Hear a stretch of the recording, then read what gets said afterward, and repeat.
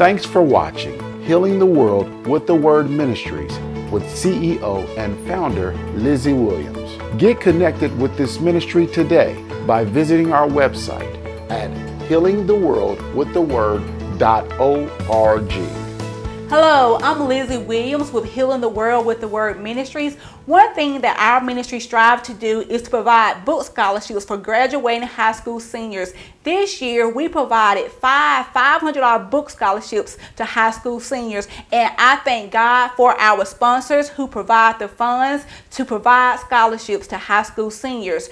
And what I would like to do is I would like to encourage our high school seniors that graduated. The question becomes now what? You have been to school, you have graduated, you've had your summer to enjoy friends and to say your goodbyes, but the question becomes now what? Ecclesiastes 3 and 1 says, To everything there's a season and a time to every purpose under the heaven. What is your season now? What is it time for you to do? It's time for you to seize the moment. It's time for you to make wise decisions. It's time for you to prepare for the fall, whether that's buying your school supplies, securing your dorm, choosing the classes that you will be taking this fall based on your schedule. It's time now to seize the moment and make those choices to make you transition to the fall semester in college. It's time to surround yourself around friends that have the same values that you have, that have the same goals that you have. It's time to seize the moment.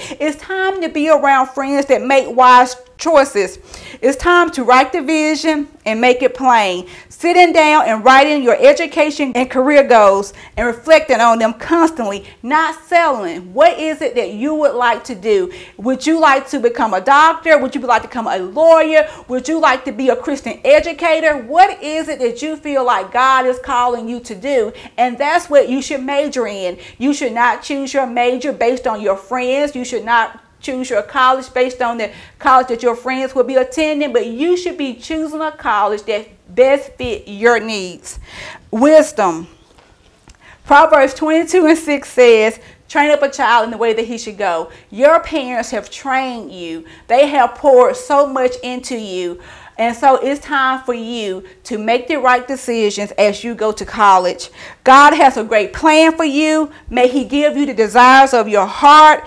May He make your plans succeed. Commit to the Lord whatever you do, and your plans will succeed. God has something great for your future. Be strong and courageous. Proverbs 19 and 21 says, You can make many plans, but the Lord's purpose will prevail. Trust in the Lord with all thy heart and lean not on thy own understanding. In all thy ways acknowledge him, and he shall direct your path. Trust in the Lord as you go off to school. Trust him for your protection. Trust him for your provision. And just know that you can do all things through the power that works in you.